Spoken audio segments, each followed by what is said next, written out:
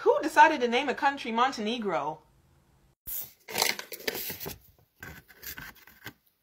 I would like to officially apologize on behalf of all Montenegrin people.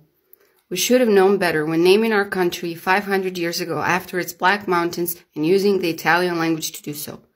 We promise to do better in the future, and for those purposes, I am starting a petition to rename our country to Monte African American.